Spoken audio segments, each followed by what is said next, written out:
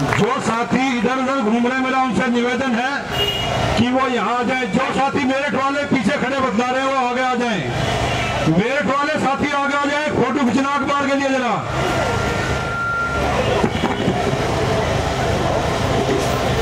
धन्यवाद भानु भानु प्रताप साहब। मंच पर आए सभी पार्टी के अध्यक्ष भाई साहब हट जाओ। अरे क्या कर रहे हो यार? क्या खेल कर दिया तुमने?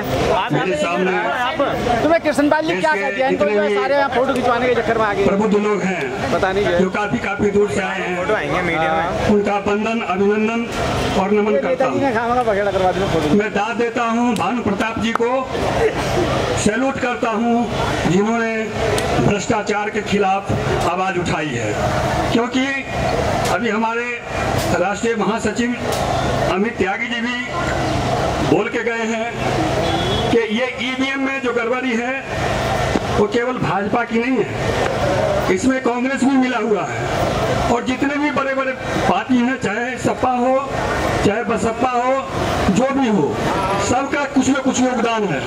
क्योंकि इन लोगों का नैतिक स्तर गिर चुका है। आप देख रहे हैं उन्नीस में मेरा देश आज़ाद हुआ, तब से लेकर के अब तक, जो समुचित विकास होना चाहिए इस देश में, वो कहीं विकास नहीं हुआ। विकास होगा भी कैसे? जब कोई अपने समय से पहले माँ बाप को छोड़ देता है शादी करके पत्नी को छोड़ देता है ज़िम्मेदारी उठाने उठाना नहीं चाहता है बच्चे को छोड़ के चला जाता है। तो हमारे देश के शीर्ष पद पर पहुँच जाता है। बताइए, निकम्मा आदमी जो अपनी मेहनत और अपनी रिस्पॉन्सिबिलिटी को नहीं निभाना चाहता है, वो क्या जनता की भलाई कर सकता है? आप बताइए। जो व्यक्ति, मेरे हिसाब से, जो व्यक्ति अपने परिवार का निर्माण सही से करेगा, वही राष्ट्र को सही से चलाएगा।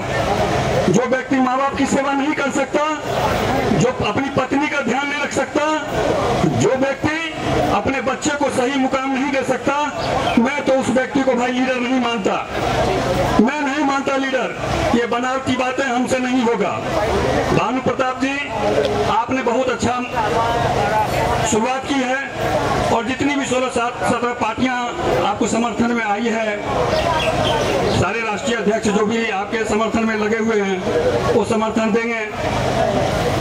सबसे बड़ी बात है, इस देश में जुमले वालों की कमी नहीं है बहुत अच्छी बात है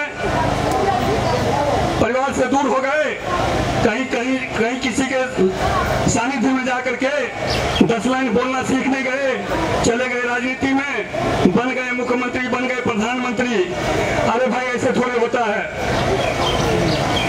मेरे देश में, मेरे देश का दुर्भाग्य है कि किसी जमाने में जो पहली कतार में, जो पहली कतार में बच्चे पढ़ते थे, वो देश का नेता हुआ करते थे।